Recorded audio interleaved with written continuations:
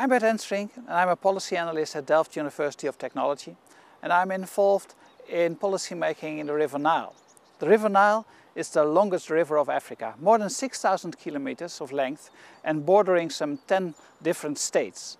And many people are dependent on the water of the Nile for their livelihoods, for drinking water, for sanitation, for industrial purposes, for energy generation. And of course, there's a big tension between the countries upstream and the countries downstream if upstream they're spoiling the water, downstream there's a shortage of water. And it's a very complex, a politically sensitive issue. And uh, uh, we are asked to support in decision making. So let's first watch this small video to give you a little bit more information and I'll be back to you after that. The River Nile resources are shared by 11 countries, commonly known as the riparian states, basing on the watershed. The Nile is a source of livelihood for millions of people, both upstream and downstream. But due to numerous human activities and dependence on the river, its sustainability is now under threat. Because we live in one place, we live in one basin, and we have to protect and fight for the uh, resource and also for this neighborhood that is where the Nile Basin Discourse, composed of 11 riparian countries, comes in. But stakeholders fear that the current legal regime governing the Nile isn't equipped to handle the evolving needs of the communities which depend on the Nile. There are challenges of, uh, uh, of land, land ownership, uh, and, and, um, and use. And, and, and these are all issues that, uh, that affect our people. The issue of poverty is still um, very high on the agenda of the people of the Nile Basin and, of course, uh, the people of Uganda. Um, the issue of climate change uh, definitely is going to be a big issue uh, affecting the whole region uh, because based on the reports, uh, we are in a, region that is um, highly vulnerable to climate change. All these are going to bring lots of issues.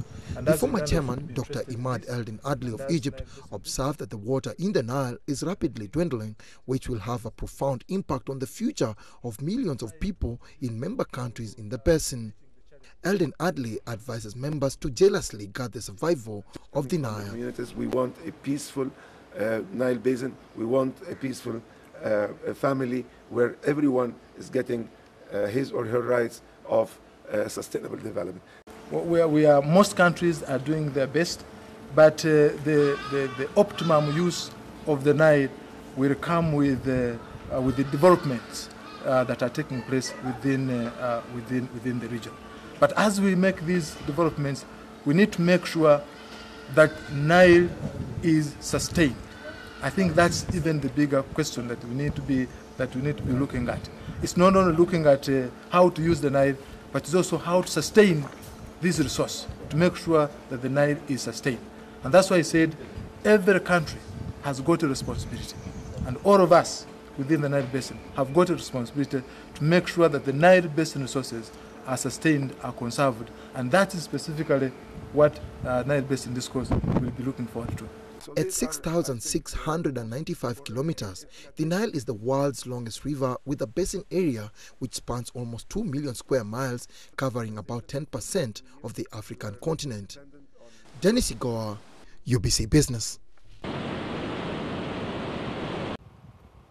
The client asked me to support the policy-making process in the Nile Basin.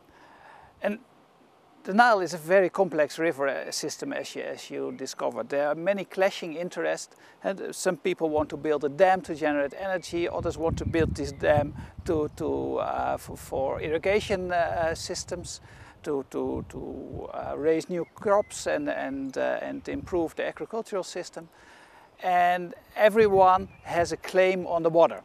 Upstreams, downstreams, uh, rural population, city dwellers, everyone has a claim. And uh, this debate on the management of the water has been going on for years, but it's stuck. Everyone is fighting for its own interest. So if I need to facilitate uh, the policy process, then I need to know what are the real concerns and issues in this river basin. What, uh, what do these people want? So I need to know uh, uh, not the solutions that building a dam or building an irrigation system, but what are the issues that need to be solved and whether there are different solutions possible. So I would like to invite you to help me analyzing the issue.